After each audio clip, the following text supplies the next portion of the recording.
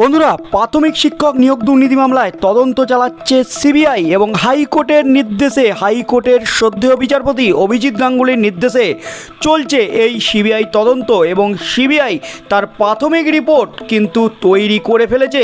আর এই মুহূর্তে সবচেয়ে বড় খবর, আগামীকাল অর্থাৎ সোমবারই হাইকোর্টে বিচারপতি অভিজিৎ গাঙ্গুলির এজলাসে উঠতে চলেছে প্রাথমিক শিক্ষক নিয়োগ দুর্নীতি সংক্রান্ত হাই ভোল্টেজ মামলা। এই মুহূর্তের সবচেয়ে বড় খবর, প্রাথমিক শিক্ষক নিয়োগ দুর্নীতির পর্দা ফাঁস হতে চলেছে আগামীকাল।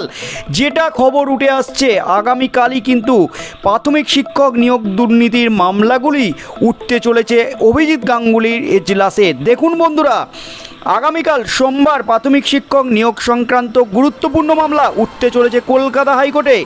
ইতিমধ্যে মামলা সংক্রান্ত গুরুত্বপূর্ণ তালিকা কলকাতা হাইকোর্টের অফিসিয়াল ওয়েবসাইটে প্রকাশিত হয়েছে।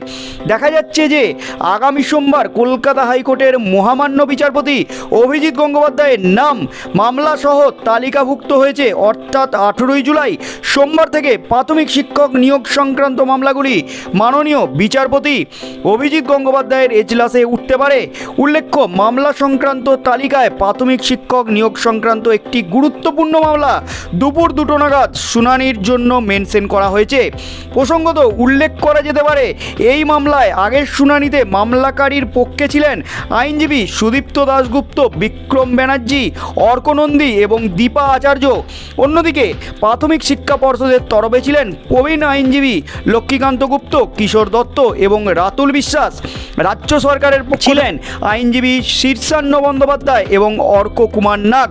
তদন্তকারী সংস্থা সিবিআই এর তরফে ছিলেন আইনজীবী বিল্লদল ভট্টাচার্য এবং অরিজিৎ মুখোপাধ্যায়। অর্থাৎ এই মুহূর্তের সবচেয়ে বড় খবর, আবারও হাইকোর্টে খুলতে চলেছে প্রাথমিক শিক্ষক নিয়োগ মামলা এবং হাইকোর্টে উঠতে চলেছে সম্মানীয় বিচারপতি অভিজিৎ গাঙ্গুলির এজলাসে প্রাথমিক শিক্ষক নিয়োগ সংক্রান্ত সমস্ত মামলাগুলি। সূত্র মারফত যে খবর উঠে আসছে সিবিআই তার প্রাথমিক রিপোর্ট ইতিমধ্যেই তৈরি করে ফেলেছে। প্রাথমিক শিক্ষকদের নথি যাচাই করেছে সিবিআই। প্রাথমিকভাবে নথি যাচাই করে যে সমস্ত গুরুত্বপূর্ণ তথ্য শিক্ষক শিক্ষিকারা জমা করতে পারেননি, তাদের নাম, রোল নাম্বার সহ তাদের কিন্তু একটা লিস্ট সিবিআই ইতিমধ্যেই রিপোর্ট আকারে তৈরি করেছে এবং সিবিআই নতুন করে শিক্ষকদের কিন্তু রোল নাম্বার এবং নাম চেয়ে পাঠায় এবং তার তথ্য কিন্তু ইতিমধ্যেই পর্ষদ সিবিআইয়ের হাতে জমা করেছে। গত শুক্রবার অর্থাৎ সিবিআই তার প্রাথমিক রিপোর্ট। অভিজিৎ গাঙ্গুলির এজলাসে পেশ করতে চলেছেন। সোমবার থেকে হাইকোর্টে যে মামলাগুলি উঠছে, তার মধ্যেই অর্থাৎ প্রাথমিক শিক্ষক নিয়োগ দুর্নীতির জট কাটতে চলেছে এবার।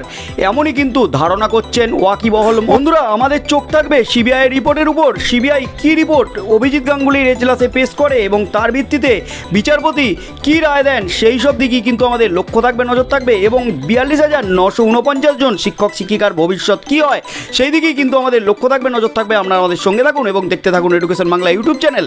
এই চ্যানেলে যারা নতুন, চ্যানেলটা অবশ্যই সাবস্ক্রাইব করুন এবং নতুন নতুন ভিডিও নোটিফিকেশনের জন্য নোটিফিকেশন বেল আইকনটি প্রেস করুন। ভিডিওগুলি ভালো লাগলে লাইক করুন শেয়ার করুন। ধন্যবাদ। সকলে ভালো থাকুন, সুস্থ থাকুন।